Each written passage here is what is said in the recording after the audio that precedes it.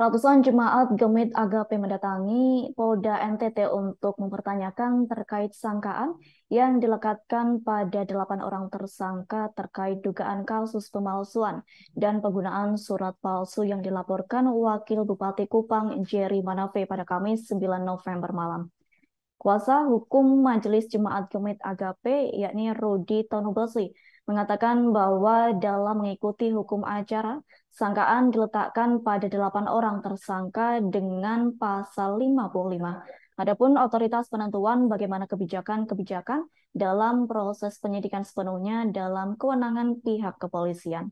Untuk informasi selengkapnya akan disampaikan langsung oleh rekan wartawan Pos Kupang yakni Ray Rebon. Silakan untuk laporan lengkapnya.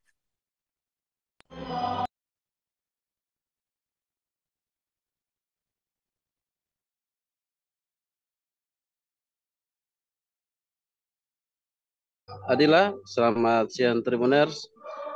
Dapat saya laporkan bahwa pada Kamis 19 November 2023 kemarin, ratusan jemaat Gemit Agape Kupang mendatangi Polda Nusa Tenggara Timur guna mempertanyakan terkait sangkaan yang diletakkan pada delapan orang tersangka terkait dugaan kasus pemalsuan dan penggunaan surat palsu yang dilaporkan Wakil Bupati Kupang Jerry Manafe dari mana teh?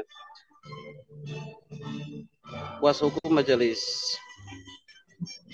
Jemaat Gemit Agape Rudi Besi mengatakan bahwa dalam mengikuti hukum acara sangka yang diletakkan pada 8 orang tersangka dengan pasal 55. Otoritas penentuan bagaimana kebijakan-kebijakan dalam proses penyidikan sepenuhnya dalam kewenangan pihak kepolisian dalam hal ini Polda Nusa Tenggara Timur. Namun menurut dia berdasarkan ketentuan pihaknya diberikan hak untuk melakukan penangguhan sepanjang syarat-syarat subjektif menjadi jaminan dan pihaknya tidak menghambat prosesnya penyidikan. Penangguhan yang diajukan pun diterima. Menurut Rudi karena pertimbangan dari Polda NTT kedelapan tersangka itu menjadi simpul dari komunitas gereja serta pertimbangan-pertimbangan sosial lainnya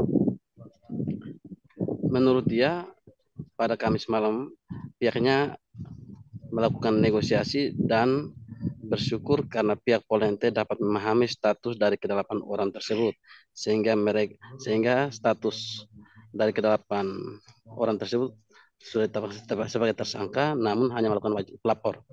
Status mereka tersangka tapi hanya wajib lapor. Penegasan dari Rudi. Sementara itu menurut Rudi pihaknya tetap akan mengikuti proses hukum yang sementara ber, langsung. Demikian rekan Adila.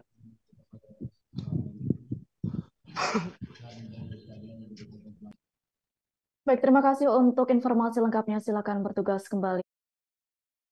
Download Tribun X sekarang. Menghadirkan lokal menjadi Indonesia.